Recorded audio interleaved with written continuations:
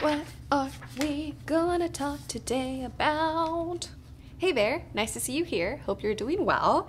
Today we're going to be talking about the best books in translation that I read in 2021. Now, just to clarify, these books did not come out in 2021.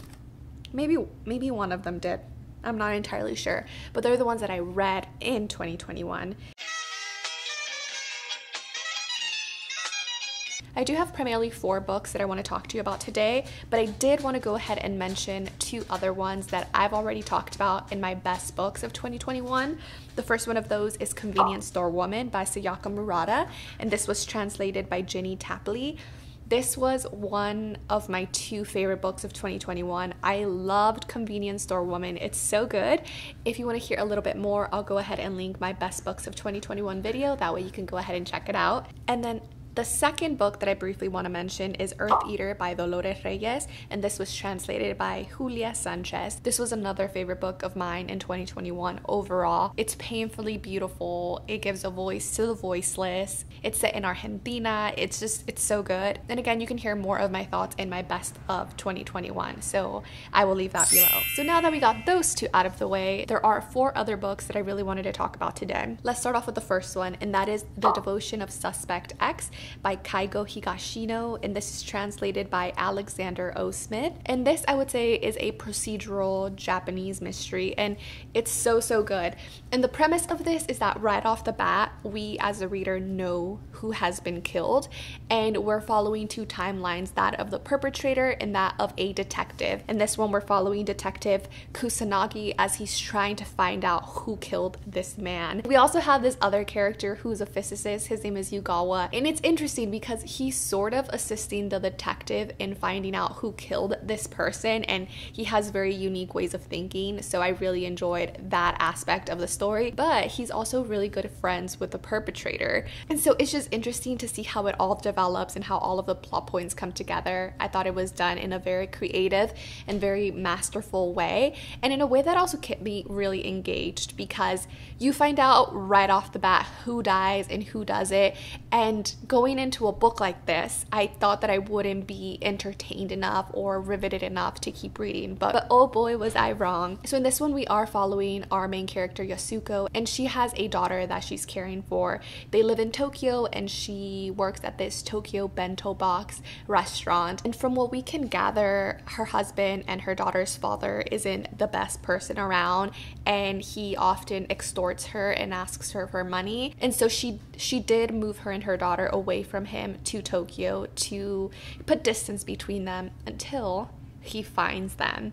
And so the story kind of takes off from there. If you're someone who loves mysteries and you just haven't tried Japanese mysteries, I think this is a great one to just dive right in and it's just it was so so good. The next book on this list is one that I've already talked about in a lot of my videos, but I just wanted to briefly talk about it now.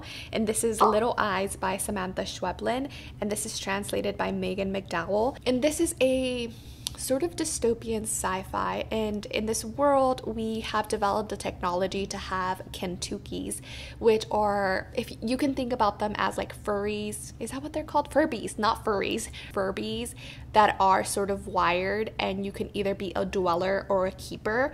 And so, if you're a dweller, you can actually control the Kentuki that is in someone else's house. So that's that's the that's the interesting part about this. That if you're your keeper, the Kentuki that you have with you is someone else from anywhere else in the world, and it sort of gives you insights into the way that other people live around the world. So, like I mentioned, if you're a keeper, you have a Kentuki and it dwells in your home. You can't shut it off, and you have no control over it but they live in your home. This book really touches on a lot of themes, but primarily it's about privacy, about human connection and intimacy, and what that looks like in a more digital world where we're able to, again, inhabit these Kentukis and live in someone else's home. It's also set up in a very interesting way. It is a novel, but it's set up as a series of almost short stories, and it keeps alternating between a dweller and a keeper and different parts of the world. And really, as a reader, you're getting a little bit of a glimpse into a dweller in one part of the world and then a keeper in a different part of the world. And these short stories only really give you a glimpse. So,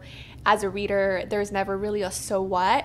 Uh, so, I did want to point that out because if you're someone that needs a so what at the end, you're going to be extremely disappointed. It's it's really just looking at people and behavior and human connection and I thought it was fantastic. The next book on this list is another one that I have also talked about and the more I think about it, the more I like it, but the less I want to reread it.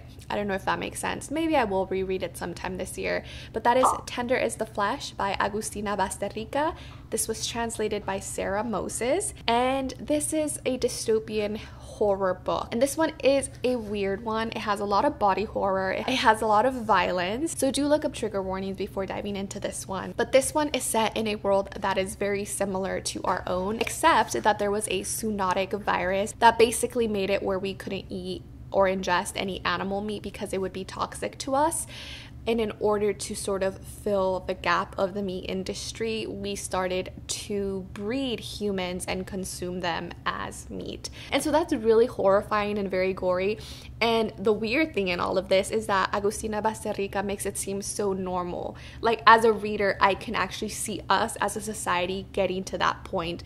and it's scary. It's so scary. The story is also sort of told in this almost clinical way that is a devote of emotion. And I think that really just speaks to the way that we as humans can so easily other a specific group of people. And, and in this particular case, it would be the humans that we are breeding in order to consume them later. And so, really, it's an insightful read about human behavior and about the way that we use language to desensitize ourselves to groups of people. In the book and in this world, people are not allowed to use the word cannibalism, they call it special meat honestly, it was a super interesting book. It's just about how humans exploit other humans, but it can be very gory. So, if that sounds something that is up your alley, I would suggest checking it out. And if you couldn't already tell, that I love Argentinian literature by now.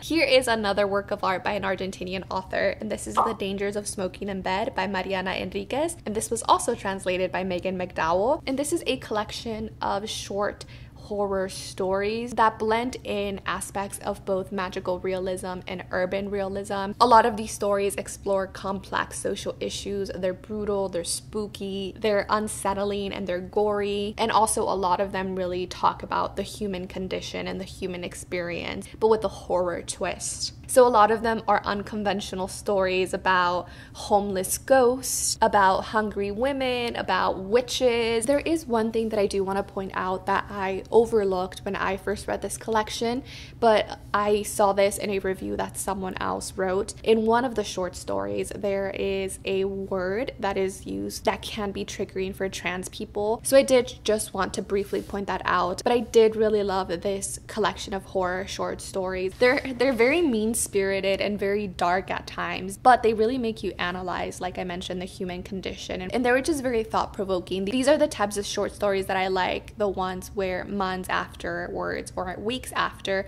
I'm still thinking about them because they were so thought provoking. That being said, they can be brutal, and some people think that they just have shock value and they didn't really find any meanings, but I will let you make that determination if you decide to pick them up. So, those were the four translated works that I wanted to talk about today. Let me know down below below if you've read any great translated fiction this year. I would love to check it out. I'm trying to read more works by Latin American authors, and I'm actually starting a project in 2022 to read more Latin American authors. So I will link the video down below if you're interested in joining. But other than that, I hope you're all having a gentle holiday break, and I will see you on the next one.